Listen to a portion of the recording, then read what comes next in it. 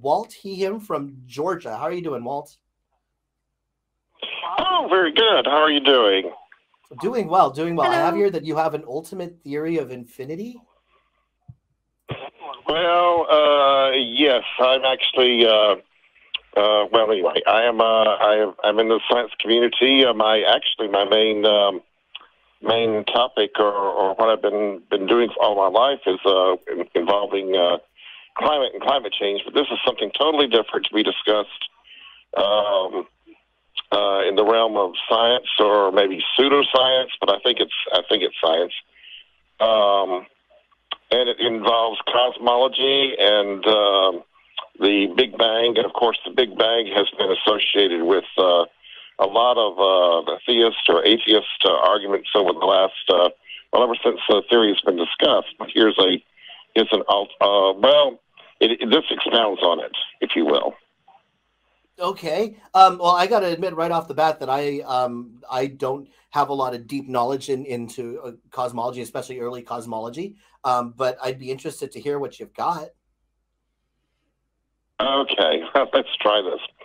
All right, uh, try this as an argument for size or cosmological argument. Um, and first of all, let's let's go for a couple of definitions uh, of what I here. Uh, the universe uh, is everything that can that came before and after the Big Bang in a closed finite system, like a we're going to call it like a soap bubble, like a soap bu- bubble theory. And the cosmos is everything that ever was, exists now, and ever will be. Okay. Okay. So, all right, our universe is, a, let, let, let's say this. Our universe is an hourglass, but conceptualize an hourglass, like a very old, you know, hourglass with the sand going, going through it and that sort of thing. With the Big Bang appearing to occur out of nowhere, like sand falling from the top of part of the glass, from the perspective of us being located somewhere in the bottom part of the apparatus. And uh, all that came after the Big Bang is contained within the bottom of a protomatter funnel where all we know appears and expands in this realm and spreads apart due to what I would call. Have you heard of um, dark energy? Yes. Yeah, go ahead. Okay, okay, okay. This is a little different. Appears and expands in this realm, and it, it spreads apart due to the what we call I would call the positive positive phase of dark energy. Uh, of course, current science can't detect anything at the top of the glass where matter came from or before the Big Bang, and also, of course, from our current perspective, no more sand, quote unquote, is coming from behind the aperture where the Big Bang took place. Okay. Also, for the sake of argument, argument, let's say that most matter on the edge of the universe breaks down to its smallest components after 100 trillion, year, trillion years from the point of the Big Bang, in which what I call the negative phase of dark energy takes over or flips. And uh, of course, uh, as far as the dark energy goes, that's the that's uh, for anybody listening. That's the um, uh, that's the force that is spreading all the galaxies and everything apart faster and faster. Okay, okay. Well, really, really quick here because this is starting to go uh, way over my head. Um, like help help Yeah. the, the help the pragmatist here because this sounds fascinating as far as a different way and a perspective of looking at things. But where does this actually get us? What does this change if this is an actual model? How do I live my like? How is it going to affect my my daily life and my understanding? And uh, like like where where are we going with this? Why is it important to know this? Uh, we're we're we're going uh, we're going uh, going to where uh, we can we can tell that we not we can't really tell, but we're going to say that nothing something did not really come out of uh, nothing as far as the Big Bang goes. There was something behind it, and I would say that uh, as far as this, the whole cycle of this goes, it was a um, this is just a theory, of course. It was a uh, uh, a black hole that could be that's light years across. That's everything that had just been compounded down to be a, a black hole, and then all of a sudden that becomes a singularity singularity because everything's crushing into one point, and then it just bursts into our realm as uh, the universe. That's where it's going. Once again, though, well, bring, bring this back and make it important to me. Like, how does this really change me and my understanding of of, of the science and the world as it applies Yeah, to you're- what's going on in life right now. Right, right. I mean, it sounds You're- like it's you're- fascinating to think about, but you know, where where's this actually getting? Okay, you're a uh, uh, you're you're an atheist, correct? I am. Okay, um, and you've had uh, arguments with theists saying the theists saying, well, uh, well, here we, we we can tell that uh, everything was created because we have the Big Bang, and and uh, the Big Bang, yeah, well, science science looks back in time um, towards the point of creation, and that was the point of creation.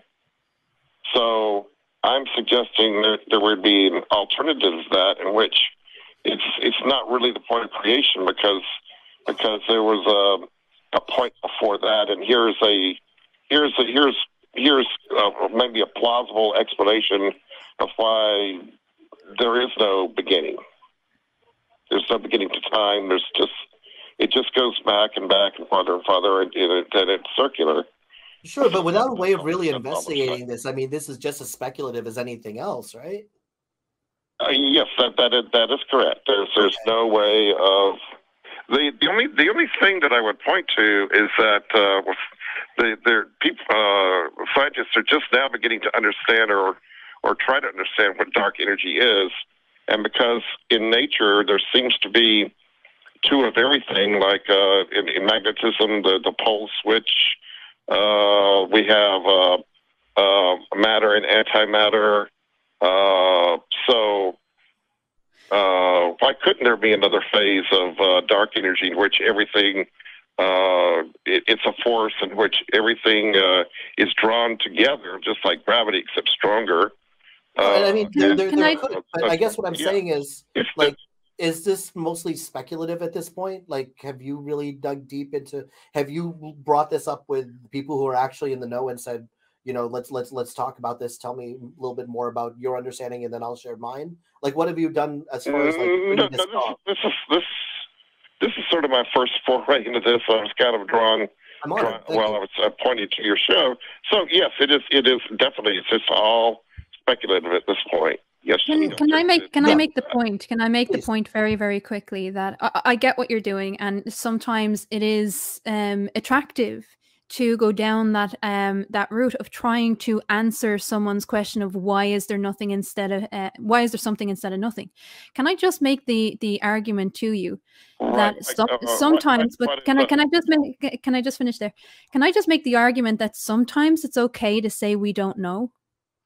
That is a very powerful statement to yeah. admit Oh, that yeah. you don't know. In, in it's fun to to make these um these assertions of this is what could have happened, and I will put it to you that the um the hourglass analogy that you're using is very very confusing, and it's probably not. Um, I- I would like for you to to go away and kind of simplify that down a little bit because um, when when you're talking to people like ourselves or when you're talking to people out in the streets and you're trying to get your ideas across you want to be able to strip it back to the most basic thing that you're trying to say. Otherwise a lot of people are just going to switch off. Um a lot of what you said i did follow the majority of it. I'm not a cosmologist. Um but what i would say is just go away and, and think of how to to simplify what you're trying to say because it will make it'll just it'll benefit you to have these conversations um, when people understand what you're talking about. But sometimes it is okay to say that you don't know. Yeah, that's what I found right. useful. Rather than My come up with foray other, discussion.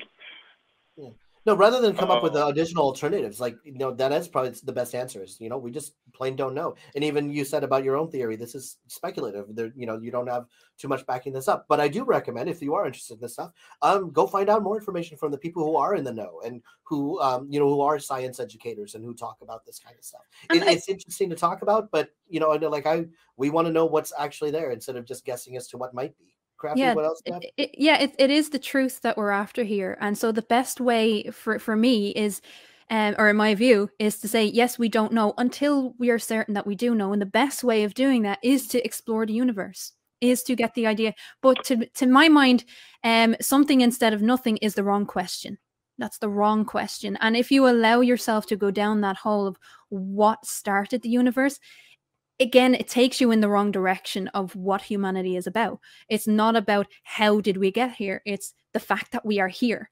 how do we make it the best life and the best world and the best universe we possibly can make it uh, and i think that's a, a a route that a lot of people fall down on they don't they get bogged down with these questions and trying to justify the fact that we are here to people who need a reason for us to be here oh sure sure definitely i've seen all the uh, or a lot of the richard dawkins uh, videos if you've seen those uh, yes, on yes. youtube I, I yeah so this is just uh, this was just what i was doing was just uh, was trying to to be like a a fun exercise and uh, discussing the plausibility of, of why did something come out of nothing. I mean, the, No, it's a problem, fascinating thing to think about. It really is. the, the know? biggest the biggest problem with that analogy the idea of the um the only way or, or the way new universes um are created is by the hourglass flipping back over through dark matter um it, the only problem with that is is the theist will always come back with the idea that someone needs to flip the thing over when when time runs out somebody or something needs to be there so you're, you're actually falling into your own trap you know so i, I would just Uh, think yeah. about it a little bit clearer and and, and try to to communicate it a little bit better um Yeah. this is great though Yeah, and keep keep engaging with us. Oh, like sure, we'll give you some was- ways to keep talking. to the actually- community. I, uh, uh, yeah, actually, to be honest, this was my first attempt at explaining this to anyone. No, we super appreciate. guinea I, I am honored that, that you've chosen to, to bring this up with me. We got a bunch of callers on the docket though, Walt. So we're gonna uh, we're gonna get, let you go and move on to some other ones. But thank you very much for calling. Well, well, Thank you, Walt. Thank, thank you for so much. Thank you for so so much for having me. Okay. Of course, You're have a good night. All right. Thank you. Bye.